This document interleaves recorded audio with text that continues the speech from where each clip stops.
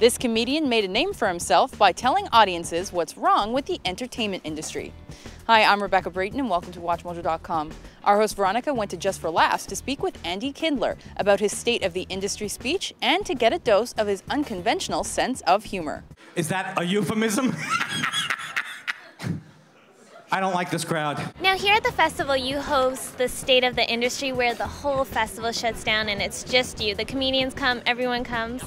Uh, can you tell us about it for those who won't have the opportunity to see it? Well, you're right. Everything does get shut down.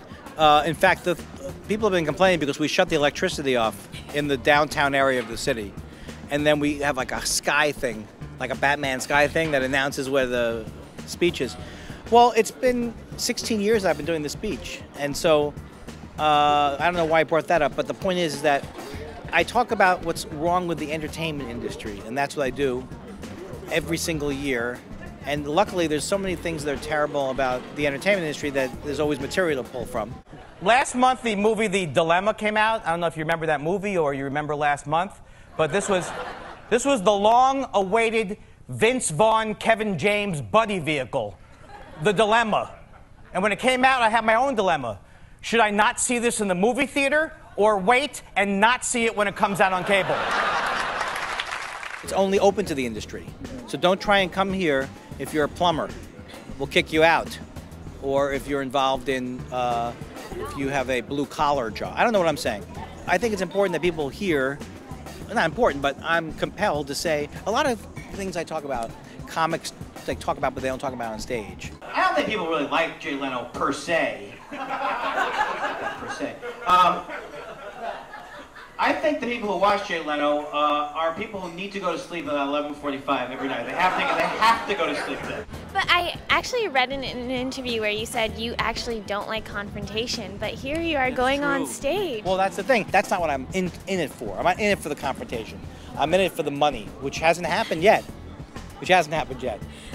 I'm not in it for the money, obviously, or for the clothing. In 1992, I was the first comedian to say, Am I right, ladies? That was me.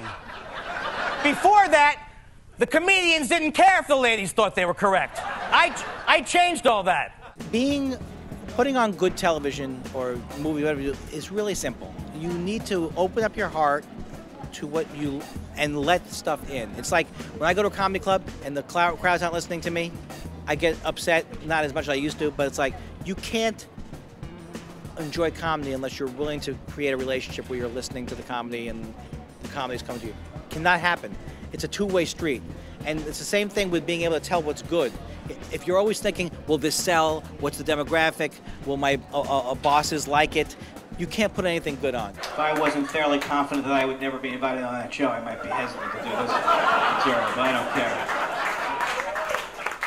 I'll leave you with this. Uh, keep your eye on the dreams. No, that's Casey Kasem. Uh, keep keep trying, and keep trying. Never give up unless you really believe that giving up's the best way to go. That's great. Thank you so much. Thank you. That was fun. Can the people who are enjoying me move towards the front and the other people get the hell out and don't come back ever? I'm kidding. I'm only kidding. Many times I'm kidding, but no one senses it but me.